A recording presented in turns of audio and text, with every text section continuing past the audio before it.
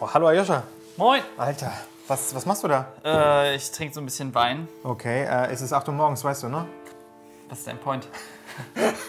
Ist alles okay bei dir oder muss mir Ja, geht so. Ich habe mit meinen Eltern geredet und äh, normalerweise mache ich ja diesen Veganismus nur in meiner Freizeit und jetzt habe ich mir überlegt, ich will das hauptberuflich machen und die haben nicht so gut reagiert, aber ist nicht schlimm, ich habe ja gute Freunde. Wollen wir nicht irgendwas zusammen machen? Ähm, das Ding ist, ich muss noch mal zu Hause Socken stopfen, ein bisschen aufräumen. Deswegen, äh, hau rein, na, mach's gut, mach's gut, Junge. Ich beobachte dich.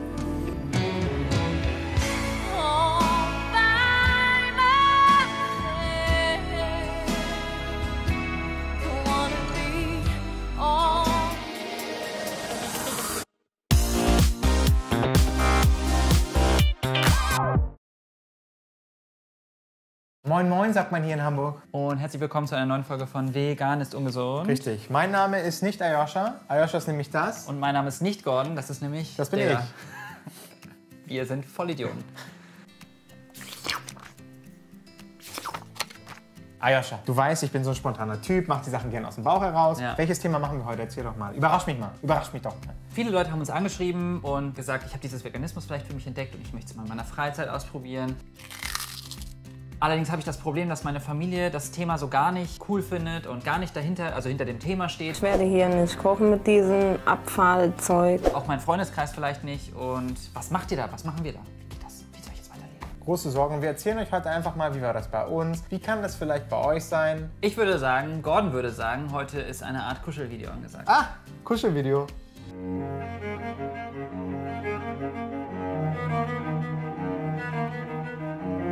Ich weiß, dass deine Familie generell wenig von deiner Person und von dir hält und auch das Thema nicht so richtig cool findet und auch nicht so richtig hinter dem Thema steht, oder? In Wurst sind Vitamine drin, in Leberwurst, in Schinkenwurst und Erdbeerkäse. Ach, du weißt so viel. Das. Eltern denken ja auch, ja, wenn irgendwie das Kind mal was macht, was die Eltern so ein bisschen suspekt finden, dann ist das so eine Phase, ja, die durchlebt man. Und dann ist das Ding auch irgendwann vorbei. Wie so eine zweite Pubertät oder? Richtig. Aber so war es bei mir nicht. Pustekuchen. Vierte bei ihm.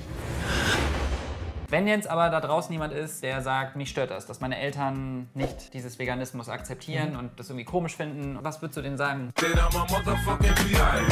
Es ist doch gut, wenn man etwas verändern möchte, bei sich selbst anzufangen. Und oftmals ist es so, das Umfeld, das reagiert nicht immer direkt darauf. Das heißt, man beginnt, ist ein gutes Vorbild, versucht sein Umfeld positiv zu beeinflussen. Das kann ich euch mit auf den Weg geben. Wie findest du das, was ich gesagt habe? Gut. Gut.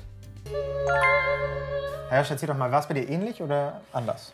Am Anfang war es ähnlich. Meine Eltern haben mit viel Abwehr reagiert und Unverständnis und was ist das denn? Ich glaube, und das ist eher Sorge, muss ich fairerweise sagen. Das ist vielleicht. ja, es ist, es ist ein bisschen Sorge und genervt hat, glaube ich, so dieses, naja, jetzt, was machen wir denn jetzt Weihnachten und was machen wir denn jetzt Ostern? Das und so, stimmt, ne? Das, das sind da stimmt. schon auch ein bisschen Sorgen, die Eltern haben. Aber erzähl. Und dann kam auf einmal Jesus.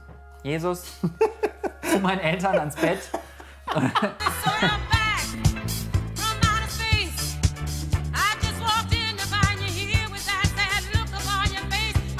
Nein, Quatsch. Aber also meine Eltern haben sich dann tatsächlich aktiv selber informiert. Was krass ist. Also ich muss an der Stelle meine Eltern einmal sehr loben, weil das wirklich die Ausnahme ist. Ayesha, aber wie hast du das deinen Eltern erklärt? Hast du gesagt, Mama, Papa, ich muss euch etwas erzählen.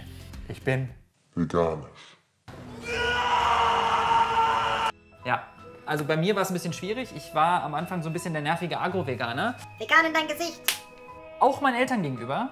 Und äh, ganz schön anstrengend meiner ganzen Familie gegenüber. Deinem und Umfeld ähm, meinem kompletten Umfeld. Ich hatte auch eigentlich keine Freunde mehr. Hast du immer noch. nicht. Bis ich mich etwas entspannt habe. Und das hat die ganze Situation sehr entspannt. Und dadurch haben meine Eltern selber mehr den Drang gehabt, sich auch zu informieren. Ayosha, ist ja jetzt alles schön und gut hier mit deinen ganzen Nähkästchen-Gelaber, dies, das. Ich stelle mir tatsächlich die Frage, was wollen wir den Leuten heute mit auf den Weg geben? Vor allem, wie wichtig Gestikulieren in Videos ist. Nein, ernsthaft, Leute. Ich persönlich, aus meiner Erfahrung, würde sagen, es ist ganz normal, dass Eltern erstmal mit Abwehr reagieren. Das bleibt alles so, wie es hier ist. Und wir können nicht erwarten, dass sie von heute auf morgen auf einmal aufwachen und sagen, hey, voll cool, was du machst. Prinzipiell ja, man kann dahinter stehen. Aber das Schlimmste, was ihr machen könnt, ist, euren Eltern irgendwas aufzwingen zu wollen. Versucht einfach mit bestem Beispiel voranzugehen, gut gelaunt, entspannt zu sein und zeigt ihnen natürlich unsere Videos. Ich würde sagen, das ist die Lösung für alles. Ich glaube zusätzlich, dass wir auch nochmal eine ganz andere Generation sind. Wir setzen uns anders mit Themen auseinander, reagieren ganz anders auf Veränderungen. Aber das muss man berücksichtigen. Und Leute, wenn ihr euch einsam fühlt oder allein und sagt, ah, ich will da nicht alleine durchgehen, Pech. ihr habt immer noch unsere Videos. Eine Sache noch, bevor wir abschließen. Ich finde es cool, das, was Gordon gesagt hat. Ähm, Findest du cool, ne? Und bei der Familie generell ist es so, das ist immer ein sehr spezielles Thema, finde ich. Wenn man selber auf einmal als Kind anfängt, die Eltern zu belehren, ist es äh, die umgekehrte Situation. Auf ich glaube, Fall. Eltern fällt das sehr schwer. Und deswegen finde ich, ist es immer prinzipiell besser, wenn man versucht, nicht zu belehren. Ich glaube, das geht in, äh, generell für alle. Auch wenn Gordon das jeden Tag macht. Leute, kommt mal hierher. Ich muss euch mal was sagen. Kommt mal hierher. Zunächst einmal beruhigt euch. Beruhigt euch alles. Alles ist nämlich alles halb so wild. Wir merken natürlich auch, dass sich immer mehr Leute vegan ernähren, dass da extrem viel passiert und dass die Leute immer bewusster leben. Und das ist das Wichtigste, einfach bewusster zu werden. Und wenn es nur ist, dass man ein Steak die Woche weniger isst oder eine Scheibe Käse weniger oder einmal die Woche Sojamilch. Und vergesst nicht, Leute, ich glaube, viele Leute da draußen haben grundsätzlich Angst vor Veränderungen und warten eher auf Veränderungen. Aber wie cool ist es bitte, wenn man aus sich heraus dazu beiträgt, dass sich Sachen positiv verändern? Ayosha, sagst wie cool ist es? Dieses Video war heute besonders kuschelig, glaube ich. Ich hoffe, ihr habt euch von diesen Worten auch ein bisschen umarmt gefühlt.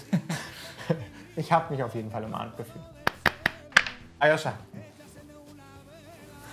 Was ist, was, brauch, brauchst du einen Ventilator? Ich, das ist echt, lass uns verabschieden, Ayosha. Komm. Komme ich jetzt schon auf nächsten Dienstag. Ich weiß nicht, wie es dir geht, aber sag Tschüss. ich bin raus wie ein Furz im Winde.